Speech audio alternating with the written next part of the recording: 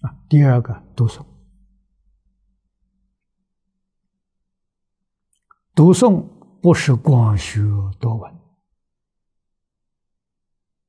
啊，而是什么呢？一门深入，长时熏修啊，修净土的，我们读诵只限于净土五经一论里头啊。只限于一种，不要动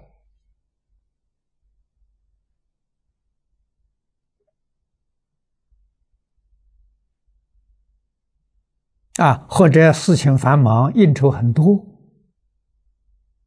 啊，那我们早晨早一点起来，读一部《无量寿经》。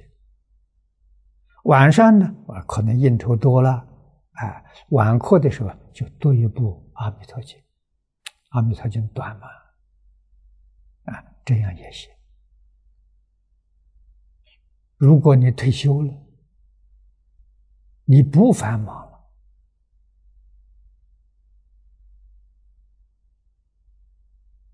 了，啊，那读诵的时间越长越好，啊，早晨读两部经，无量寿经，晚上读一部。这个好啊，啊，多读经什么？对极乐世界熟悉啊，这很重要啊。极乐世界熟悉了，对极乐世界就生起感情了，就真想去啊。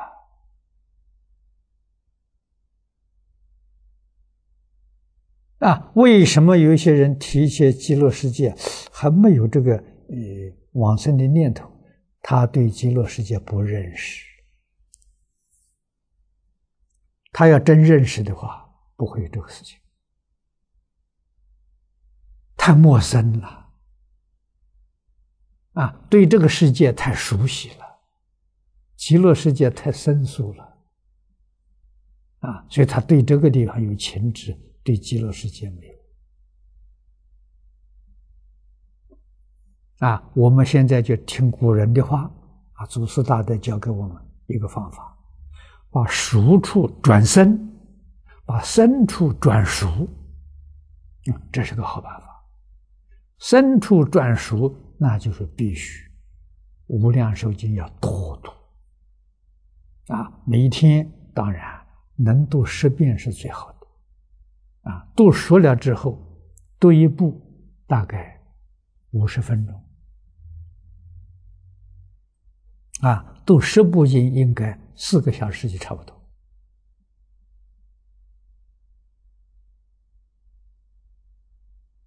啊，所以这不是做不到的。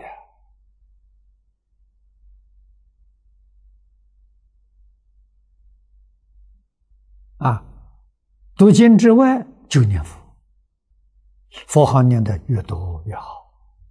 啊，每天如果真修这这个净土。每一天至少要十个小时啊，啊，才能把生处转熟，啊，熟处转生，对于我们居住的娑婆世界越来越生疏，这个好，啊，极乐世界越来越熟悉，啊，就是用读诵的方法，啊，说法。这个说法，遇到人谈话的时候，说是三句不离本行，就劝人修净土，就劝人念佛。无论在什么时候，无论在什么场所，啊，一个人、两个人，啊，多数人都可以，啊。不是讲登坛讲经说法，不是这个意思。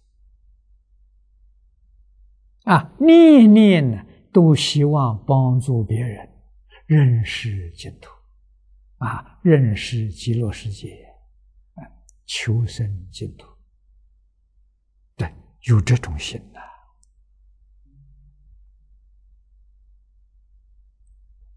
坚行六度是随时随地。啊，遇到就走，啊，正行六度，这是把六度摆在功课里头，必修课。